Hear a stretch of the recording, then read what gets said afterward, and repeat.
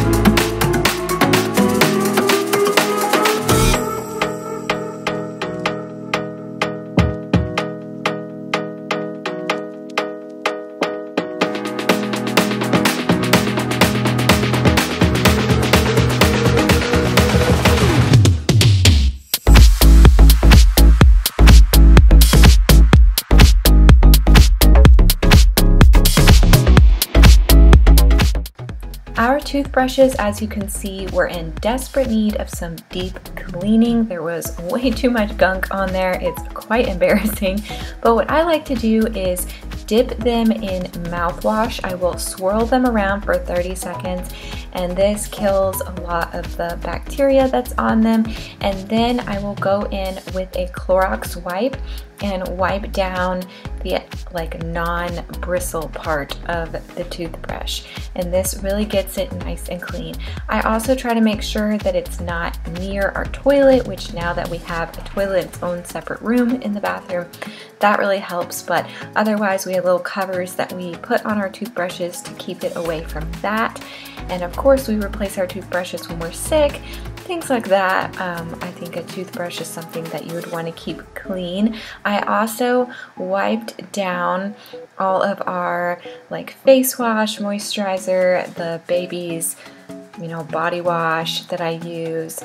Just wipe that all down with a Clorox wipe as well.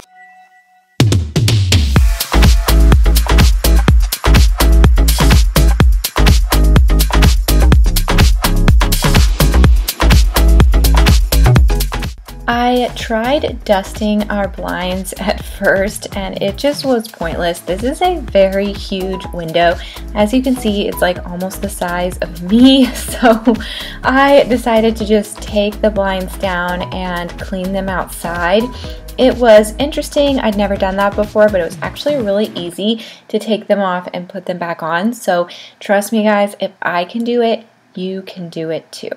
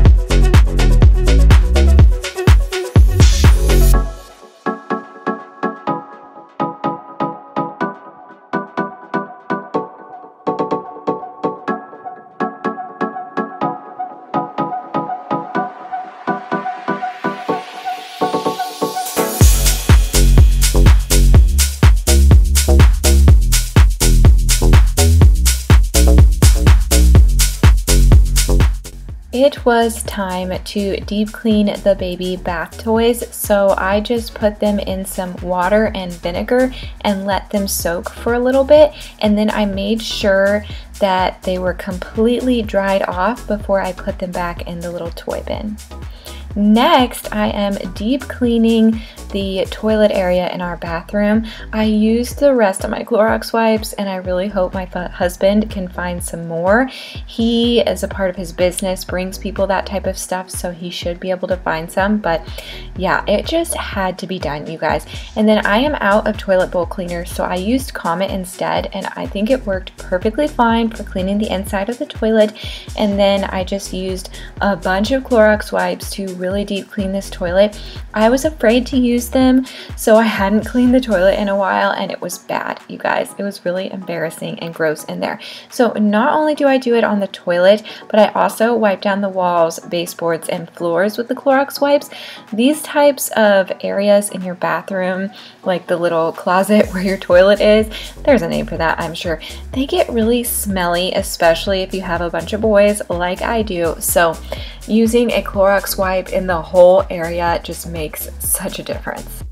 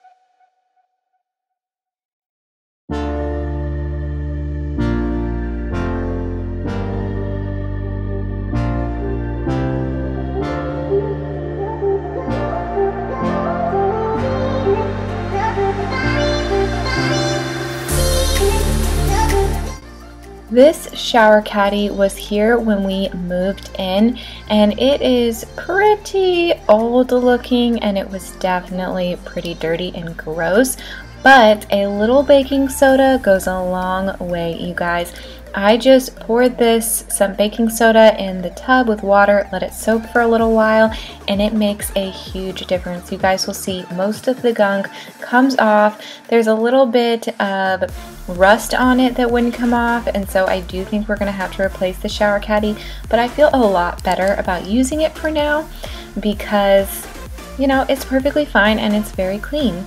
Now we are deep cleaning our blinds. All you need for this is some warm water, soap, and a rag. I just scrubbed it down and then I hosed it down and let it dry in the sun. It was a nice day. I would definitely recommend doing this on a nice sunny day, or at least a day that's just not raining. but yeah, there is so much, guys, that you can do with just typical household products. If I have learned anything, I thought I would leave this in because how cute does he look? That's my oldest playing out there. But if I've learned anything during this pandemic, it is that we need to just stay stocked up on the essential things, especially when it comes to cleaning, just stocked up on vinegar, baking soda, dish soap, toothbrushes, you know, rags. You don't need all the fancy popular products, although they are nice and I'm not saying I will never buy them again, but a little vinegar and water in a spray bottle goes a long way. You don't need a bunch of paper towels. You know, those things are in short supply right now, but do we really need those things? What we really need is toilet paper, at least I do, but all those other things we don't necessarily need. You can save so much money on just using much simpler products and it's actually a lot better for you. So I am reminding myself of that as I tell you guys. So now I am just scrubbing down the caddy and it just came off so easy. Like I barely had to scrub. It all came off extremely easily.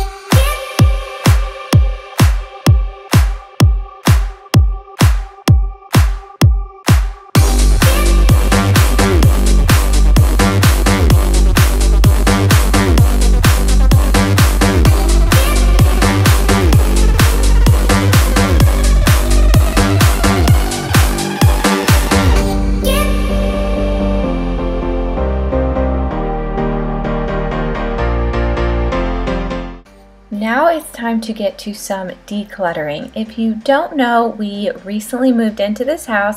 It's been about a month or so, so we've definitely been here for a little bit, but there are still a few boxes. It takes quite a while to get fully set up in a house, especially with a bunch of kids. So I hadn't really gotten to the stuff in my closet yet, and I thought this would be a perfect time to go through some of my stuff and give some things away that I know I'm not going to use touch every single thing and you know decide if I really need it. Now I really should declutter these scarves but I couldn't bring myself to do it you guys. I need to go through a season and see what I'm wearing and then I will allow myself to declutter those scarves. It needs to be done. There's way too many but I just couldn't do it at this point. Shoes I felt like I could do. Those what I am now thinking of as witch shoes, I did decide to get rid of. At first, I was like, oh, but I could wear them for like a witch costume. No, if you think about that you could wear it as a costume, just say no. Get rid of it. First of all, when am I, as a mother of three, ever going to a costume party? Second of all, why would I ever wear those crazy high heels? I have weak ankles. I don't know. It just, none of it makes sense, yet I always hold on to them. So finally let those go. This box was a little bit emotional and difficult for me to go through. These are the clothes that I fit into before I had my three-year-old and I still do not fit into them. I do have a almost 10 month old now so I was pregnant again after that and I have been working out and losing weight and I'm really proud of myself but I just don't fit into these clothes yet and it makes me kind of sad but I'm not going to get rid of them just yet. There are a few things like those shorts. They were probably way too short even when I was, you know, a few sizes smaller. That onesie pajama thing though, I'm keeping that. I'm rocking that eventually. I wish I could fit into that during this quarantine time. It would be a great quarantine outfit. So I am getting rid of a few things in here, but for the most part, I'm going to keep these clothes. I'm to put them in a trash bag because it takes up less space than a box. And I'm going to put them in the corner of my closet.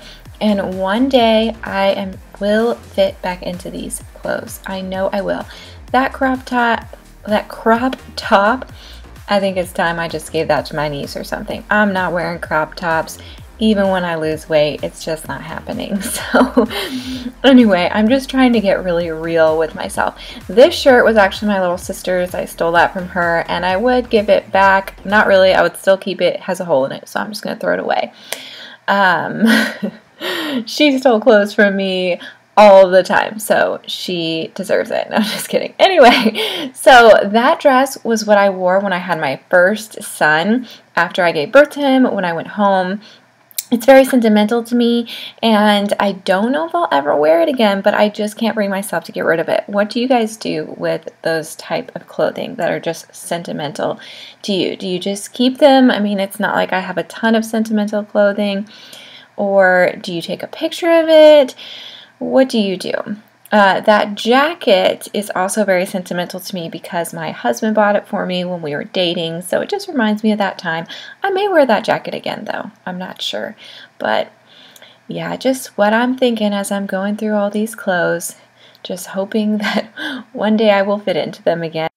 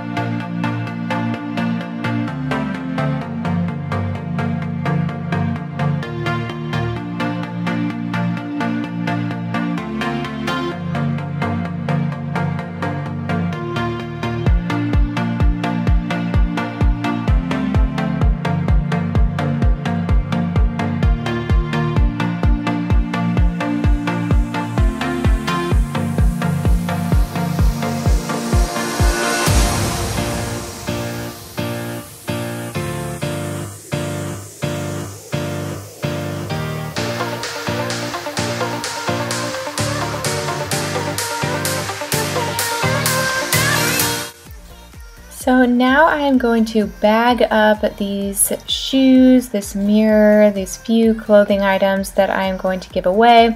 I'm going to throw away all these boxes, take them apart and throw them away. And then I'm going to put all of those bags and everything into my closet.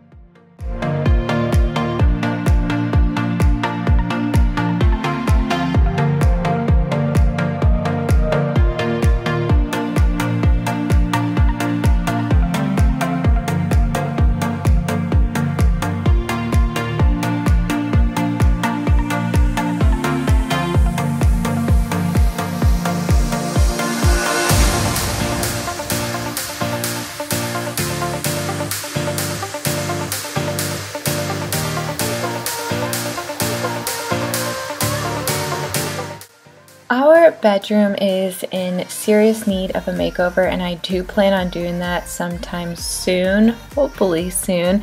But we're not jumping into buying any new furniture or any major decorations or anything. It's very expensive purchasing a home, so we're just happy to have this home. So for now, I'm just going to try to keep our bedroom clean and organized, or at least get it that way. And then we'll worry about decorating it. I would like to get a king size bed and a nice bed frame and all that stuff. I did have those lamps. They were by our bed and I spray painted them black and I just still was never happy with them. So I do think I'm going to try to sell those or give those away. I might keep the shades though because I do like those. However, they're just so big. They took up so much space. Okay, now it's time to go through my makeup. I already decluttered my makeup majorly, but I don't want to declutter it too much. I went through a phase where I bought a ton of expensive makeup and I want to use that makeup. I don't buy tons of makeup anymore and I just want to use what I have and I don't want to just get rid of it for the sake of getting rid of it. So we have a nice sized bathroom, but we don't have like a big closet to put all of these types of things in. So I just put them in these bins and then I'm going to put them in my closet. We have his and hers closets, my husband and I, and there is really plenty of room in my closet for this type of stuff. I don't use these hair ties as much as I probably should, so I'll just put them up there and I also have like a ton of lip products. I did go through those and picked out a few that I would like to use. I may end up uh, getting rid of some of those because they probably do get gross after a while, but I thought I'd just keep them for now. Then I have an extra makeup sponge that I will definitely use eventually. That little makeup bag has some just travel stuff like travel dry shampoo and hairspray, so that's always good to have on hand. And then that little, it was like a knockoff Fitbit I decided to get rid of that. Those um, temporary permanent eyelashes are so painful to take off that I've just decided it's not worth it at this time, but I can't bring myself to get rid of them.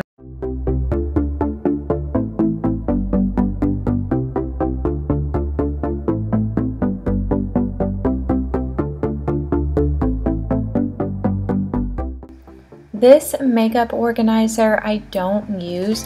I just keep the makeup that I use on a daily basis in a makeup bag. I try to only have that amount of makeup that will fit in a makeup bag at one time except for like these extras that I just don't want to get rid of.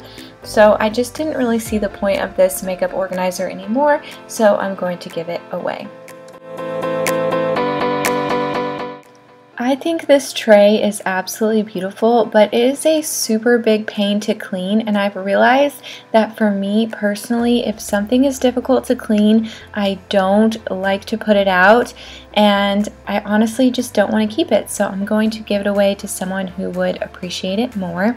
Then I had just a bunch of organizational bins that you guys saw that I'm excited to use in future organizing projects.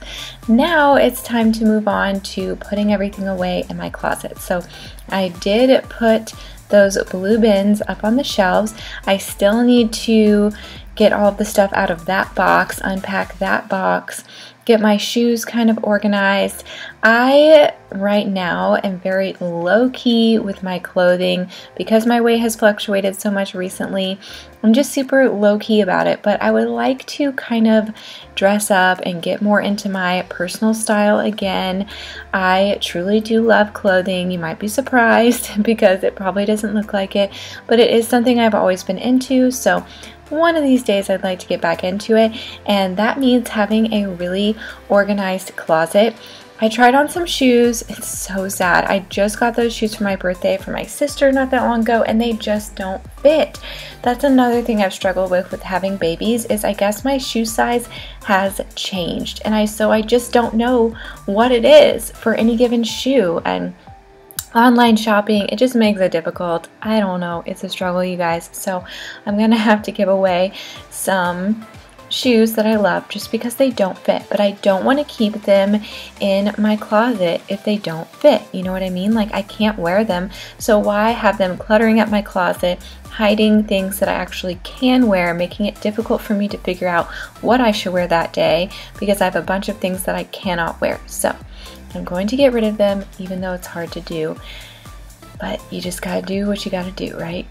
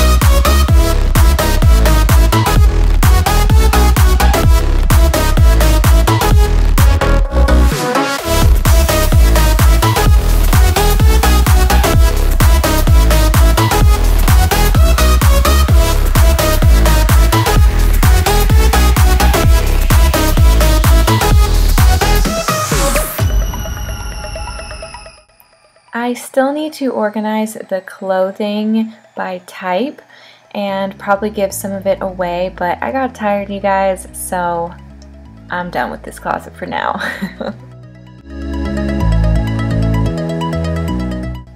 Next up, I'm going to work on our back door slash laundry area. I need to dust where all of our toilet paper is, our good old toilet paper stash. This door is so dirty and you will see why in a minute, but it definitely needs to be cleaned. I also just want to declutter the washer and dryer and really give the washer and dryer a deep clean. You guys, this was so satisfying. I never realized how satisfying it would be to have such a clean washer and dryer. Mine were particularly dirty, but yeah, it just feels so good. I actually kind of feel like doing laundry sometimes. Kinda.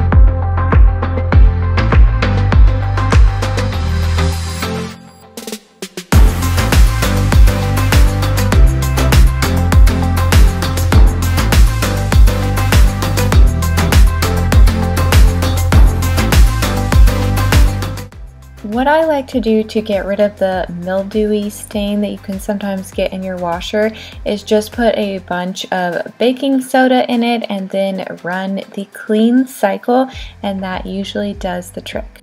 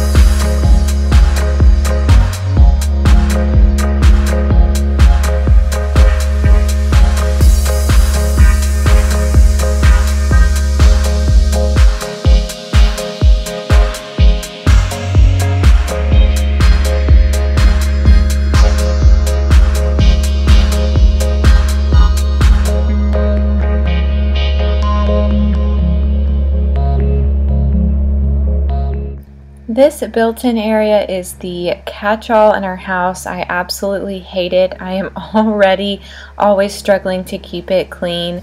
But that is the little bin for my oldest to just keep his computer for schooling, online schooling, his books for reading, his charger, all that in there. He's also not allowed to have his cell phone on him at all times, so we keep that in there as well. And then I decided to just go ahead and organize this drawer. When we moved in here, I just literally poured some stuff into this drawer. So I thought that I would take some time, throw away a lot of the trash, put some of the stuff up in our office, and only have things down here that we will actually use, like markers, pens, some electronic type stuff, a lint roller, things like that.